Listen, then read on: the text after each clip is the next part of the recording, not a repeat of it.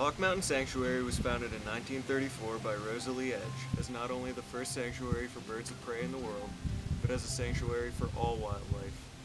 Our first curator, Maurice Broun, was an avid birder, botanist, and all-around naturalist. He and his wife Irma's commitment to the preservation and sanctity of the sanctuary was astounding, but did not come without its challenges. Local hunters who historically used the mountain as a prime location for hawk shooting had a genuine distaste for the Brouns, who patrolled, maintained, and successfully protected the newfound sanctuary in the name of conservation. Today, the legacy of Rosalie Edge and the Brouns continues by upholding the mountain as sacrosanct through conservation science, education, and stewardship, and by maintaining Hawk Mountain first and foremost as a sanctuary for all wildlife. After all, in the words of our founder, the time to protect a species is while it's still coming. Nestled among the rocks and boulders within Hawk Mountain Sanctuary's ridgetop ecosystem is a vibrant community of lichens and mosses. Lichen are composite organisms, a symbiotic association of algae and fungi. A pioneer species, lichen can take up to a thousand years to fully develop, but can be destroyed by a single footstep.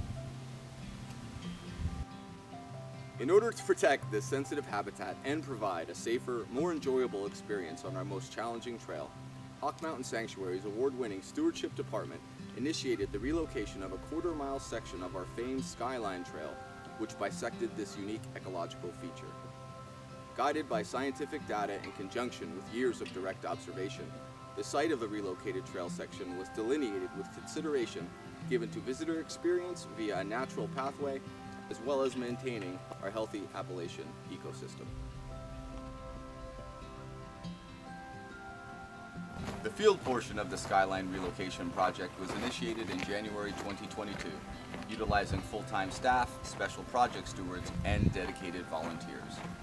While fieldwork in Pennsylvania winters presents unique challenges, it did aid in mitigating negative impacts to the surrounding forest. On two steeper sections of the relocated trail, log ladders were constructed in lieu of check steps in order to limit erosion and prevent gullying of the trail while providing hikers with ample stability underfoot. All lumber used during construction was harvested on site utilizing dead standing oaks.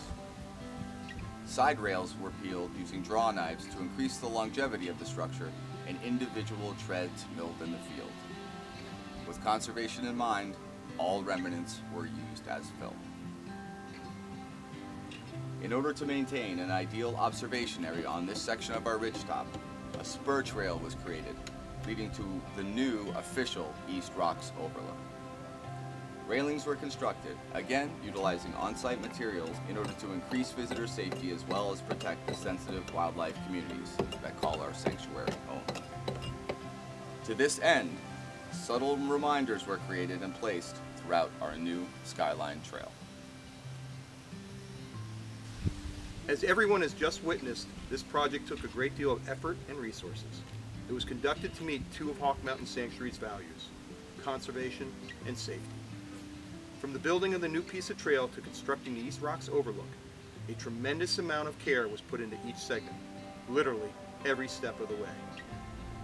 Your part, the hiking community, is to enjoy our labor of love for our sanctuary, and by staying on the trail, you will help us achieve the long-term sanctuary mission and the preservation for all wildlife.